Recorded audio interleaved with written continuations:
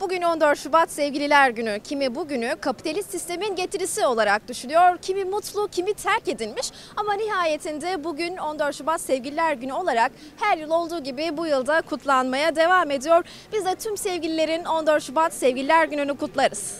Evli misiniz? Tabii evliyiz. 35 yıllık evliyiz. Biz de sevgiliydik. Bunu arkadaşımıza sevgililer günü için götürüyoruz. Yalnızlar günü. Ne zamandır yalnızız? 8 aydır. 8 ay mı oldu ayrılık? Evet. Aldatıldım. Çok sıradan bir gün. Öyle. Belki de sevgilim olmadığı içindir. Aşk bence parayla alınamaz yani. Bence alınır. O ayrı. Aşk parayla alınır mı? Ne düşünüyorsunuz? Aşkla ilgili ne düşünüyorsunuz? Zamane aşklarıyla ilgili ne düşünüyorsunuz? Vallahi keşke daha önce gelseydiniz sevgilim varken. dediğim. Ben aşka inanmadığım için arkadaş takılmayı seviyorum öyle. Sadece Sadece arkadaşız. Evet. Sıkıntı yok. Peki Sevgililer Günü e, kapitalist sistemin bir getirisi mi? Ne düşünüyorsunuz bu konuda? Ve ben öyle düşünüyorum. Kapitalizme karşıyız. O yüzden hediye almıyoruz. Çiçek satışları nasıl gidiyor? Hocam çiçek tasarımı çok bozuk gidiyor. Çünkü zabıta bize rahat vermiyor efendim. Sevgililer Günü ile ilgili ne düşünüyorsunuz? Vallahi benim iki tane çocuk var. Eve bir parça ekmek alayım diye getireyim diye bakıyorum. Bir eve bir çiçek alsam, eşime versem yeter herhalde.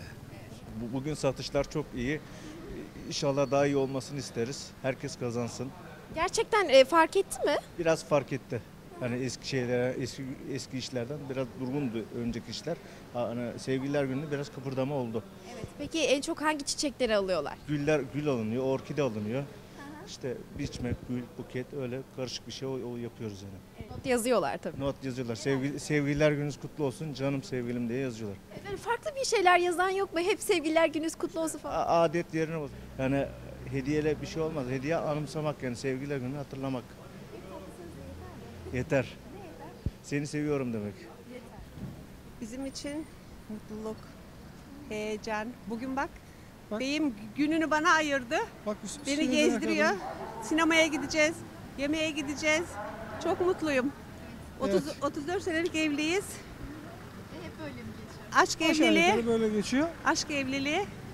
Mutluyuz. Sizler birbirimizi görmek için gizli sokak aralarına giderdik. Buluşmak için kimse görmesin diye. Ama şimdikiler her an, her dakika beraberler. Ee, Benim için insanların birbirine kaynaşması, sevgilerini, saygılarını göstermeleri, gönül kırmamaları, e, mutluysanız mutluluğu başkalarına aşılamak ve taşımak diye düşünüyorum. Bence 14 Şubat Sevgililer Günü sadece e, bu alışveriş dünyasının e, düzenlemiş olduğu bir etkinlik. Yani daha çok iş yapalım, daha çok kasamıza para gelsin.